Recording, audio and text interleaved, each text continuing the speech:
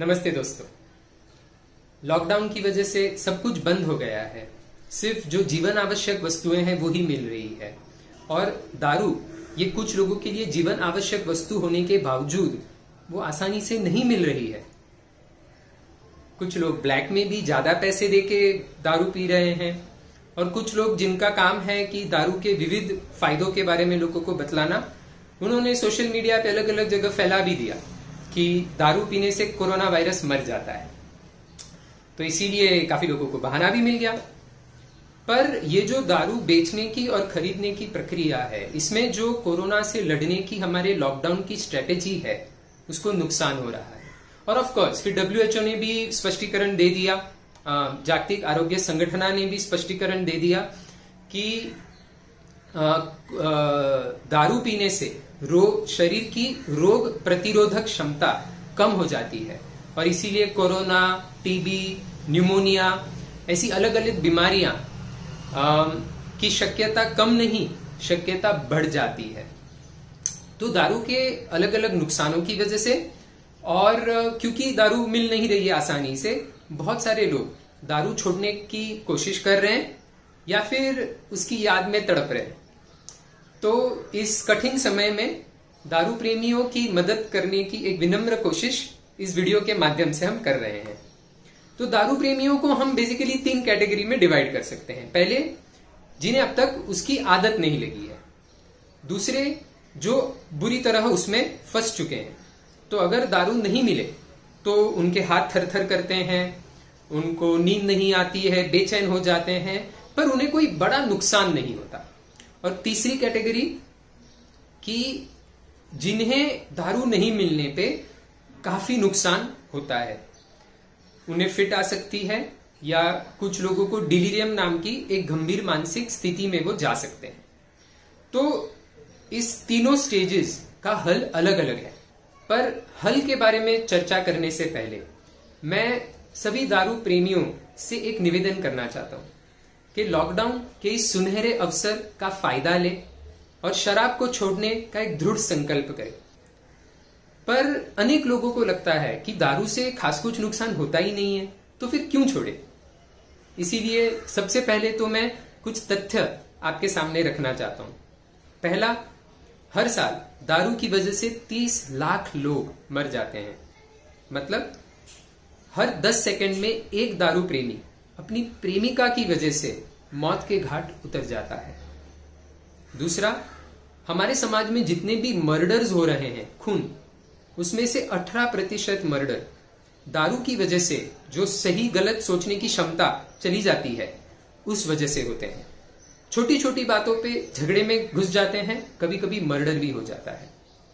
उसी तरह से जितने सुसाइड हो रहे हैं, आत्महत्याएँ हो रही है, उसमें से 18 प्रतिशत दारू की वजह से होती है। बहुत सारा नुकसान होने के बावजूद, जब इंसान उसे छोड़ नहीं पाता तो परेशान होकर खुद या उसके घर वाले आत्महत्या कर लेते हैं। चौथा, टीबी और अन्य संसर्गजन्य बीमारियाँ। दारू की वजह से शरीर की रोग प्रतिरोधक क्षमता कम हो जाती है। जागतिक आरोग्य संगठन के अनुसार, जितने लोग टीबी से मरते हैं, उसमें से 20 प्रतिशत दारू की वजह से मरते हैं। और पांचवा, दारू की वजह से जो लिवर बिगड़ता है, एक्सीडेंट्स होते हैं, हार्ट अटैक, कैंसर, नौकरी चली जाती है, पारिवारिक सुख चला जाता है, समाज में बेइज्जती हो जाती है तो ये सब तो आपको पता ही है। पर कुदरत का करिश्मा ऐसा कि हर दारू प्रेमी को एक दृढ़ विश्वास होता है कि मुझे इसकी आदत नहीं लगने वाली। मैं तो आजीवन कंट्रोल में ही पीने वाला हूँ। दोस्तों, हर वो इंसान जो आज दारू से बर्बाद हुआ है, एक जमाने में कंट्रोल्ड पार्टी ड्रिंकर था। कंट्रोल में पीना ये पूरी तरह हमारे हाथ में नहीं है। आदत लग जाना ये दारू, सिगरेट ब्राउन शुगर इन पदार्थों का गुणधर्म है। किसी को रिस्क ज़्यादा है, किसी को रिस्क कम है। बट कोई भी इंसान जो दारू को हाथ लगाता है, उसे ये आदत लग सकती है। अंदाजे से 10 से 15 प्रतिशत लोग जो दारू को हाथ लगाते हैं, उन्हें दारू खून के आँसू रुलाती है। पर आप कहोगे कि पचासी प्रतिशत लोग को तो कोई तकलीफ़, बड़ी तकलीफ़ नहीं होती। हाँ बिल्कुल सही। बट दोस्तों, सोचिए, अगर कोई चीज़ करने से पंद्रह प्रतिशत धोखा है कि आपको और आपके परिवारों वालों को बाद में बहुत पछताना पड़े। तो क्या ये रिस्क कम है? Global burden of disease study नामक एक रिपोर्ट बनता है, जो दुनिया भर में होने वाले रिसर्च को पढ़ने के बाद बनाया जाता है। उसके अनुसार, जो 15 से उनचास उम्र के बीच का युवा वर्ग है, उन लोगों को बीमारी और मौत की ओर ढकलने वाले जो रिस्क फैक्टर्स है, उनमें सबसे पहला है दारू, पीना। दूसरा, सिगरेट या तंबाकू लेना। और फिर आता है मोटापा हाई ब्लड प्रेशर बाकी। दोस्तों, एक साइकेट्रिस्ट होने की वजह से मैंने बहुत सारे परिवारों को इस नशे में डूबते हुए देखा है। आपके परिवार के साथ ये मत होने देना। और अगर आपको ऑलरेडी इसके प्यार में आप फंस चुके हो तो इस दलदल से बाहर निकलने का एक बहुत सुनहरा मौका लॉकडाउन आपको दे रहा है। कैसे? कुछ रिसर्चर्स का मानना है कि व्यसन मुक्त केंद्र में व्यसन मुक्ति केंद्र में जाकर कुछ लोग जो दारू छोड़ देते हैं, उसका एक सबसे बड़ा फैक्टर है एक सुरक्षित वातावरण। वहाँ पर कितनी भी इच्छा हो जाए आजू बाजू दारू मिलती ही नहीं है तो झक मार के छूटी जाती है। और ये जहर कुछ दिनों तक अगर अंदर ना जाए तो मन और शरीर उसकी गुलामी से बाहर आने लगते हैं। हाथों की थरथर बंद हो जाती है, मन शांत हो जाता है, दिमाग फिर से पटरी पे चलने लगता है।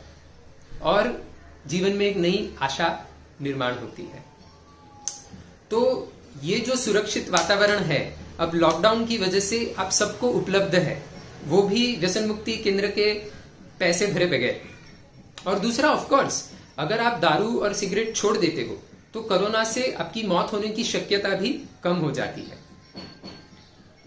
तो दोस्तों, मैं निवेदन करूँगा कि प्लीज़ ब्लैक में दारू खरीदने की कोशिश या हाथ भट्टी की दारू खरीदने की कोशिश ना करें। इनफैक्ट घर में भी जो दारू है, उसे फेंक दें।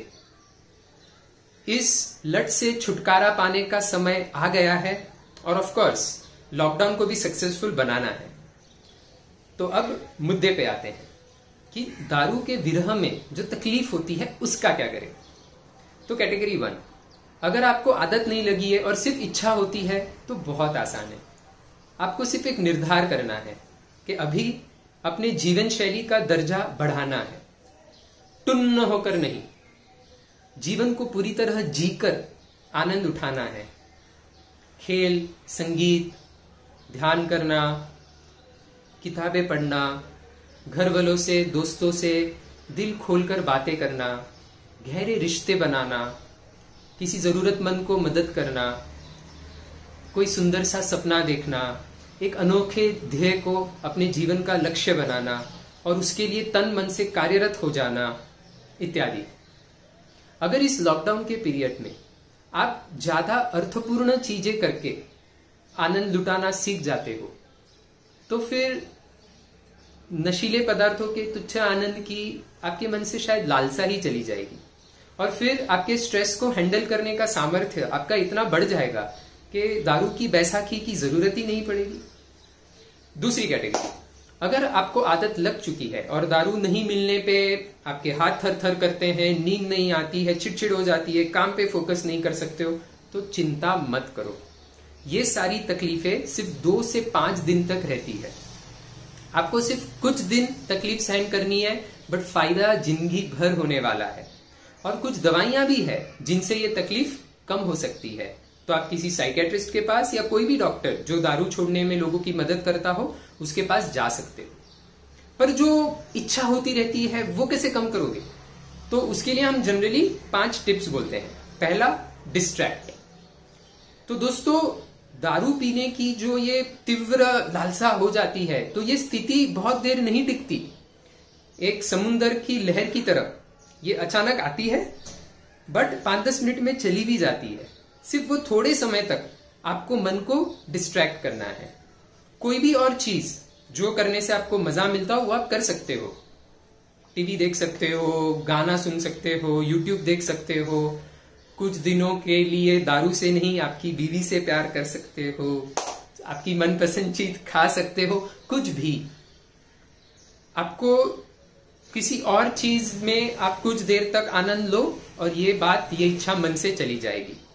दूसरा ड्रिंक वाटर अनेक लोगों को एक दो ग्लास पानी पीने से ये दारू की तृष्णा चली जाती है। तीसरा डीप ब्रेथ्स कुछ लोगों को गहरी, लंबी साँसें लेने से फ़ायदा होता है। उससे मन शांत हो जाता है और फिर स्पष्टता से दिखने लगता है कि दारू क्षणिक आनंद देती है, बट लंबे समय तक रुलाती है, नहीं चाहिए।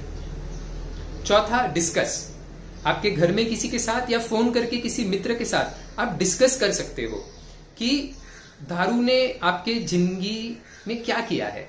आज तक क्या नुकसान हुआ है? आपको क्यों छोड़ना है? इत्यादि इत्यादि। और फिर वो इंसान भी आपको आपका मनोबल बढ़ाने में मदद करेगा।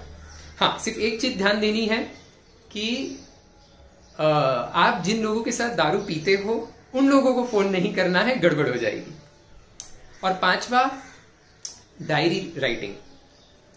अगर मन में चलने वाले द्वंद्व को आप लिखते हो तो भी स्पष्टता आने में मदद हो जाती है कि वाकई में आनंद का रास्ता कौन सा है और दुख की ओर जाने वाला कौन सा? समृद्धि की ओर जाने वाला रास्ता कौन सा है और अधोगति की ओर जाने वाला कौन सा? तो निर्णय लेने में आसान हो जाता है, मन शांत हो जाता है। इन शॉर्ट दारू पीने की जो बीच में क्रेविंग इच्छा होती है, उसे कंट्रोल करना पॉसिबल है।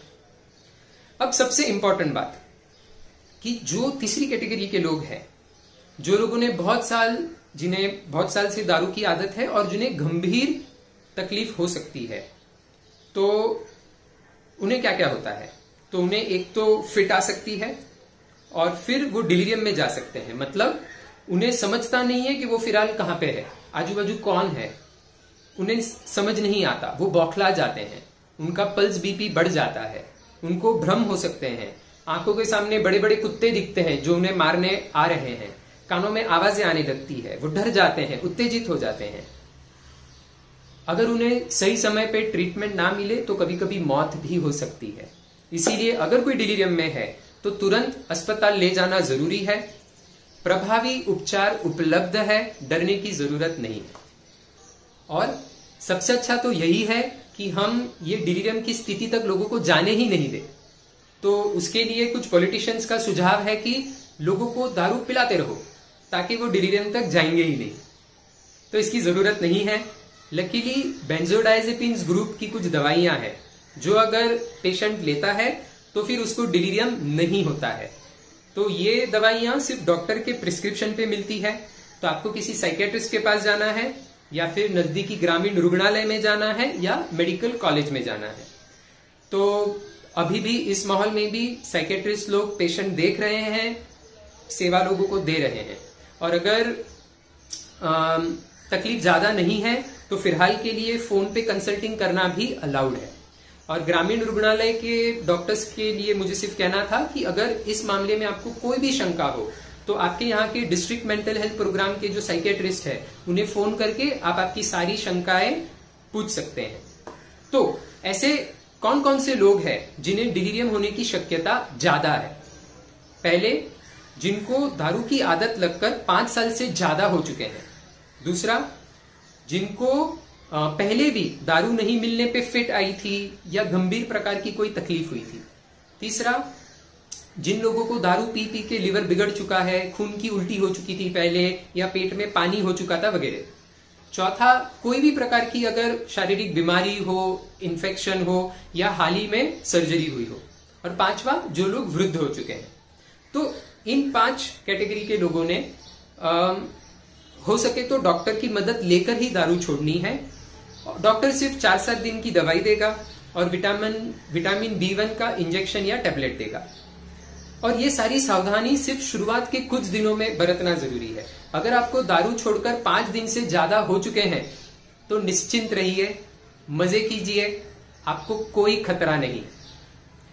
तो अंत में दोस्तों, फिर से गुजारिश करना चाहूँगा कि लॉकडाउन के इस सुनहरे अवसर का फ़ायदा उठाइए, दारू की गुलामगिरी से निकल जाइए और कोरोना से बचने के लिए खुद को फिट रखिए। मैं आपके और आपके परिवार के लिए एक व्यसन मुक्त स्वस्थ, सुखी और समृद्ध जीवन की प्रार्थना करता हूँ। और दोस्तों, दारू की वजह से बहुत सारे परिवार दुखी है। तो इस वीडियो को प्लीज़ शेयर कीजिएगा। जय हिंद।